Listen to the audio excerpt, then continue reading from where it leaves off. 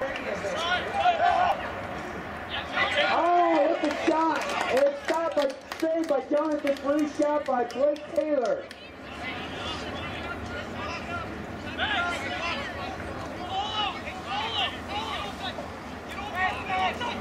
Johnathan Ferree with the clear.